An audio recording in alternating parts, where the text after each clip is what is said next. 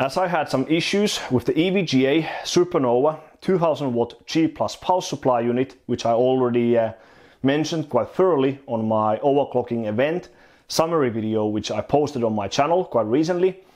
The unit did work at the very beginning, but uh, when we were just about to start benching on LN2, when I was about to turn on the system, I could hear like an audible like bang from the power supply unit and then we suddenly lost part of the fuses from the room where we were benching. Then I tried to troubleshoot the issue and all of the main voltages from the power supply seemed fine. There was no obvious short circuit that I could see.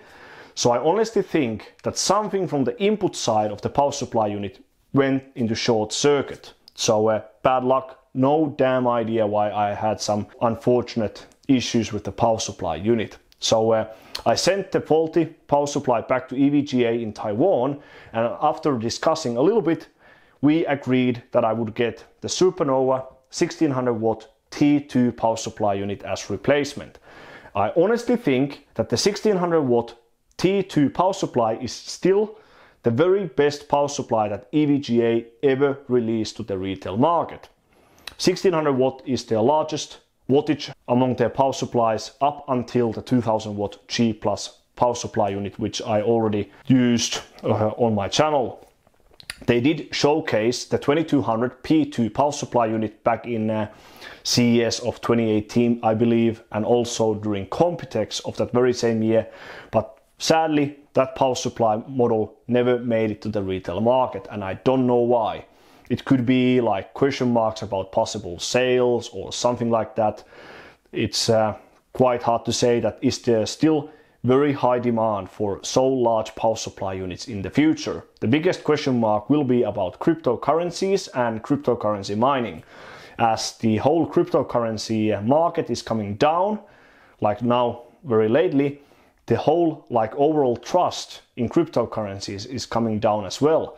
And if cryptocurrency mining is coming down rapidly, it means we should see a lot of used high-end graphics cards and also high wattage power supply units coming for sale. And then there would be less need or demand for so large power supply units. When it comes to high-end PCs like gaming PCs or workstation machines, it's quite hard to say that do we need so large power supply units in the future. Yes, many of the modern components they are drawing a lot more power than before, like CPUs and even graphics cards. We have RTX 3090 Ti that needs the new connector, which can supply up to 600 watts through just a single connector, but we don't have massive multi-GPU configurations anymore.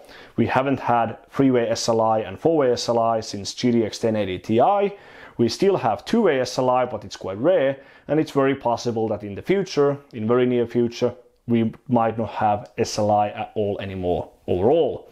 So it's possible that in two or three years from now, the basic very high-end PC will be about high-end CPU and a single high-end graphics card. So in modern components that would be like 5950X Ryzen CPU from AMD, high-end motherboard and a single RTX 3090 or 3090 Ti and large amount of good performance memory and that's it.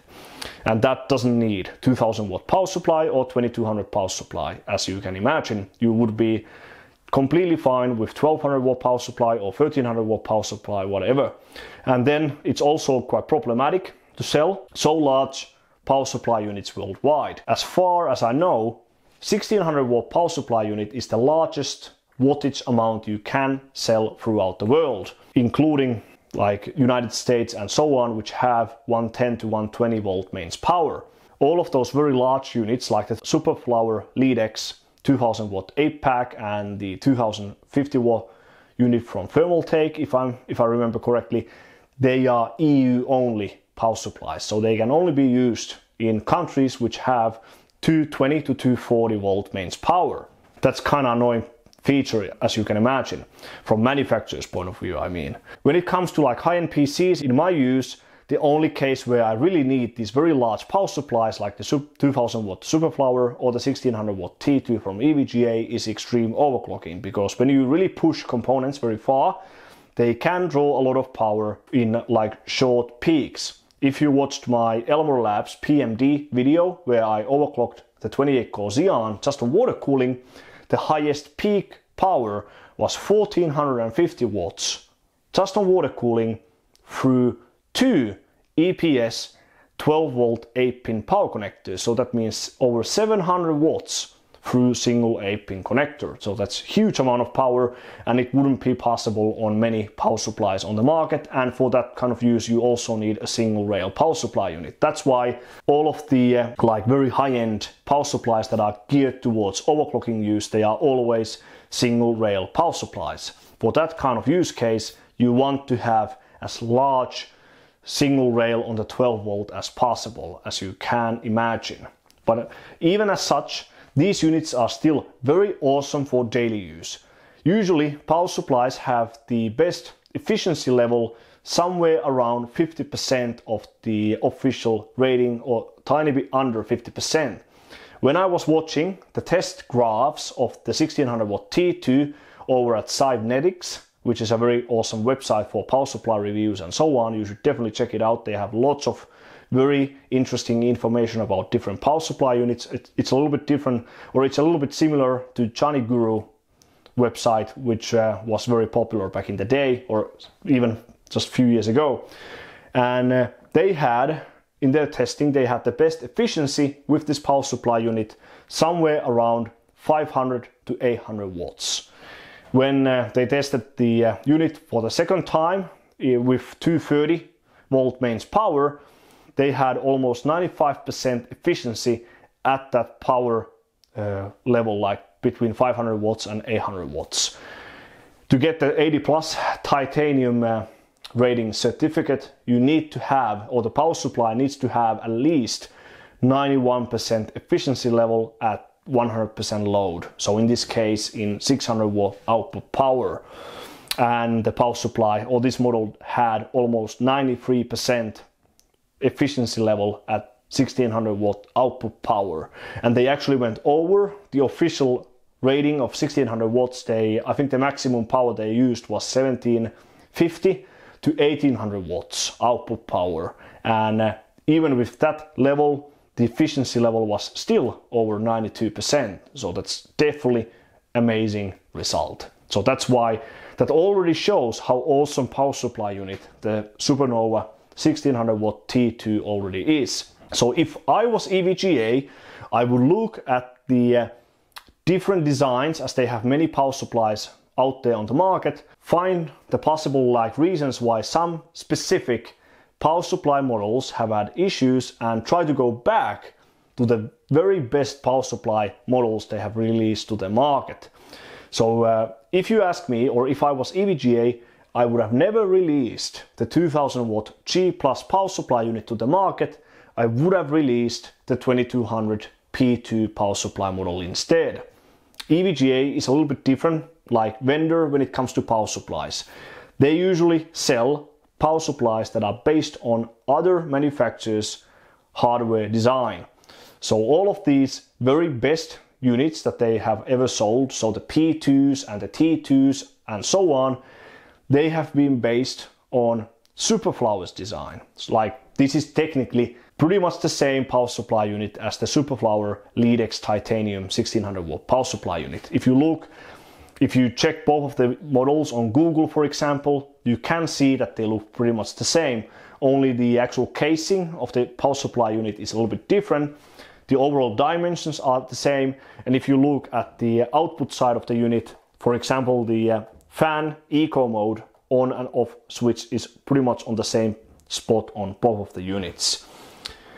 Now, uh, some of the later units which have come out to the market during this year and also in 2021, mainly the uh, G6 and P6 models, and I think there's also P7 or G7, they are usually based on Seasonic design. Seasonic is also a very large power supply manufacturer and many other vendors sell Seasonic power supplies through their own branding as well. And some of the newer ones as well, like the Plus models, like the 1300 watt P Plus, the 1600 watt P Plus, and now I'm sure the 2000 watt G Plus, they are based on uh, some Chinese company called FSP's design. So it's very possible that the FSB design might have some potential errors compared to the Superflower and Seasonic designs. For example, the 1600 watt T2 is larger in physical dimensions than the 2000 watt G+. Usually, the larger the wattage count is, the larger the power supply also is in physical dimensions I mean. But the 1600 watt T2 is actually 2 centimeters longer power supply unit than uh, the 2000 watt G+. This particular uh, power supply unit is very large. It's over 22 centimeters long, so it's a very large power supply unit. For example, if we compare that power supply to the Seasonic Prime 1300 watt platinum power supply, you can see the massive difference in physical dimensions.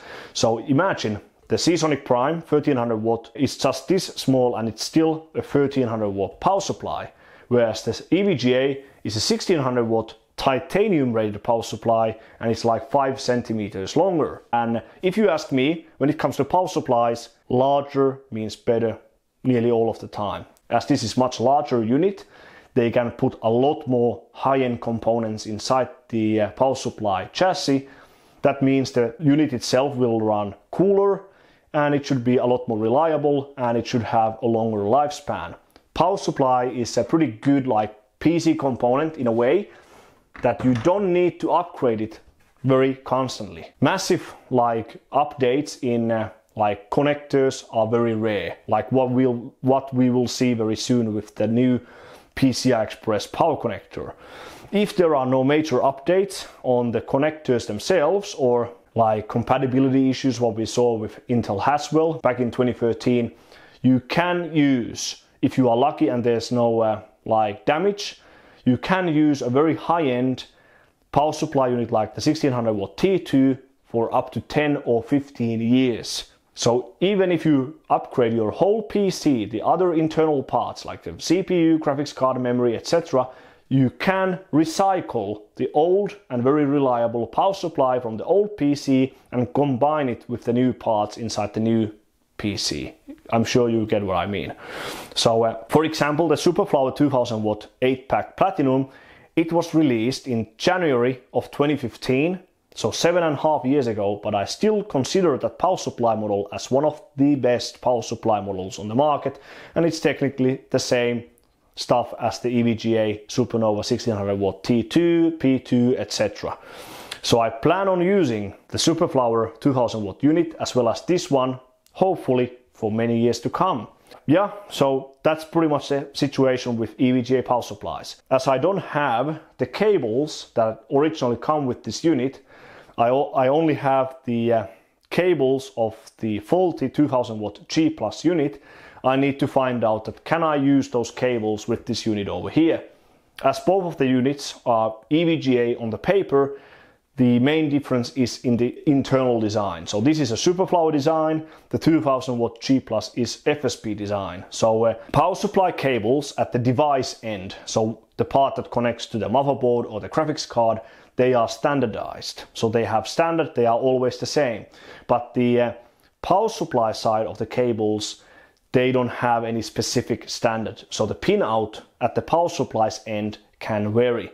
So you should never mix power supply cables from two different models just like that without doing any kind of like background work and actually sometimes you need to even measure the continuity or resistance of the individual cables to see that can you actually use them because the pinout can be different.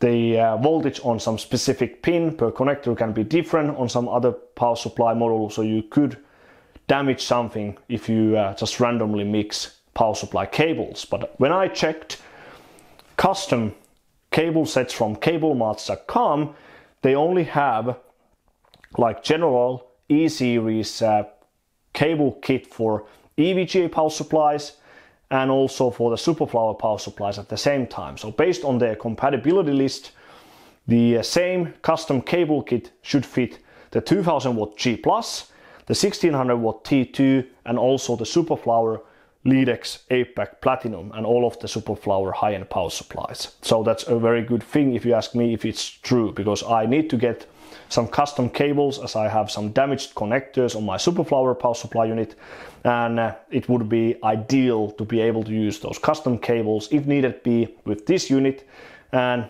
with the 2000 watt G Plus if I still get to use that unit some at some point later on. But yeah, that's pretty much it. So recently the 1600 watt T2 as well as the P2 they were on sale on evga.com, their website store for pretty good price. So if you are interested in some uh, like very reliable and high-end power supply, if you need a lot of power, you should definitely check out the 1600 watt T2. It's still a very good power supply unit.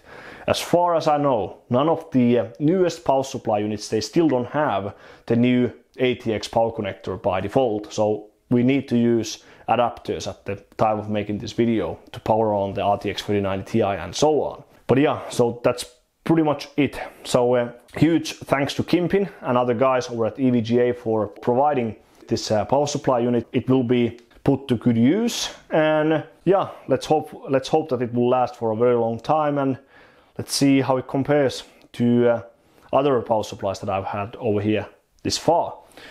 So uh, if you found this video helpful and if you like to hear about my like own comments and like experiences with EVGA power supplies in general and some insights about EVGA power supplies, then please give me a thumbs up and subscribe to my channel. Maybe check out my Patreon page as well if you want to support my work. And thanks for watching one of my videos once again, and I will see you on the next one.